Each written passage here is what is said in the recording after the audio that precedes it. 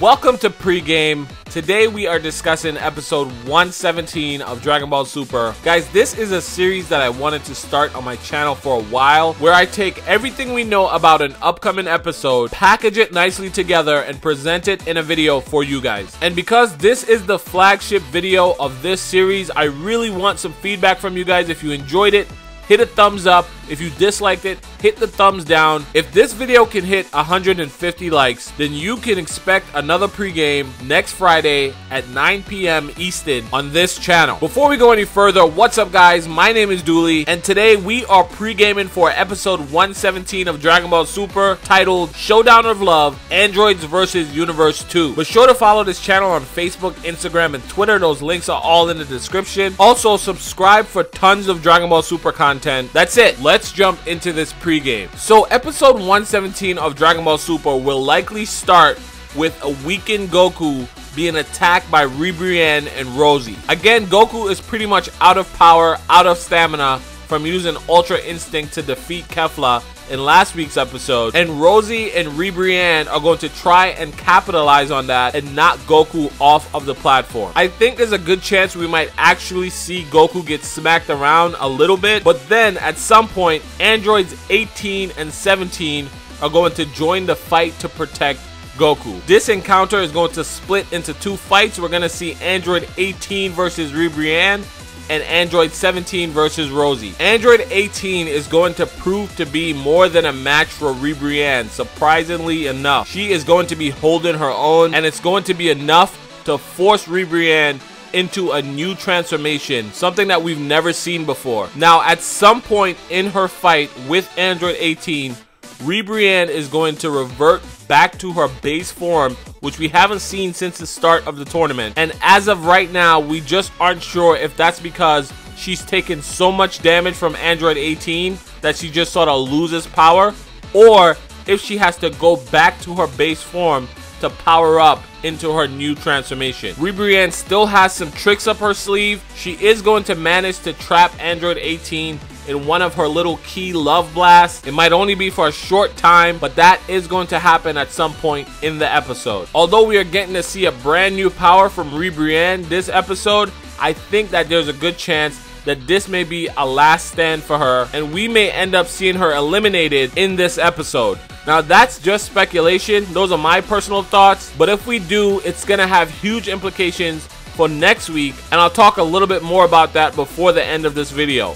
Now back to Goku. After being saved by the androids, Goku is going to be attacked by more members of Universe 2. They are Zabuto, Zirloin, and Rabanra. Now, since this is a coordinated attack and it's coming right after their fellow Universe mates, Ribrianne and Rosie, it's likely that these guys may have had some sort of communication between themselves, deciding that they wanted to go after Goku together at some point earlier in this episode. These guys, for the most part, are fodder characters, but because Goku is in a weakened state, it's likely that they're going to be giving him a hard time. They're going to be getting some good shots off on Goku. At some point while fighting these characters, it's going to be obvious that Goku needs help, and it's likely that the person who is going to come to his aid is going to be none other than Frieza. Once again, we will probably see Frieza helping Goku in the Tournament of Power. Now guys, this may happen closer to the end of the episode, but it will happen. Frieza is going to take a particular interest in Zabuto, which is that guy with the mustache. And in case you're wondering, Frieza is much stronger than this guy.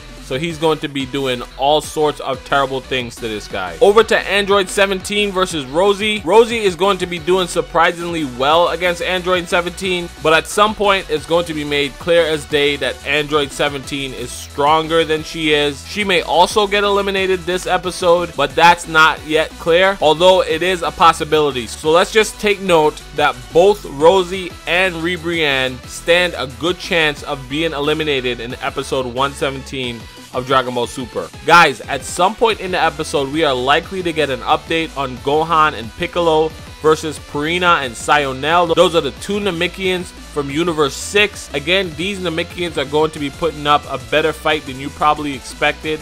These Namekians are stronger than the Namekians from Universe 7. Piccolo is actually going to be impressed by their power. And also, guys, at some point in the episode, we are going to touch base with Vegeta Vegeta is going to try and use Ultra Instinct for himself. He's going to try and copy what Goku is doing. However, every time we've seen Goku use Ultra Instinct, it's been out of need. He's been in a situation where he had no other choice. I think because Vegeta isn't in any mortal danger at the moment because he doesn't have that need at the moment. His initial attempts at going Ultra Instinct will fail and then he is going to be attacked by Katopesla. Now I mentioned earlier in the video that Ribrianne may get eliminated this episode. And if she does, guys, it means that the next universe to be eliminated from this tournament will be Universe 2. If Ribrianne doesn't get eliminated this episode, or it's made obvious that she is going to get eliminated early next episode, then Universe 2 is fine, Universe 2 is safe. Either way,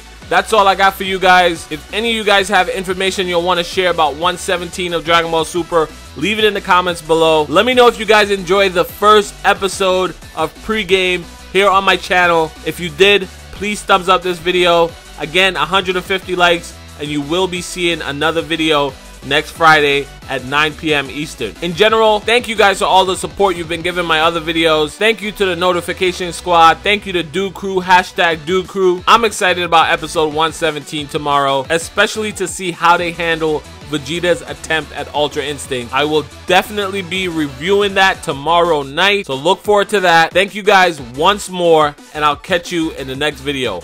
Bye.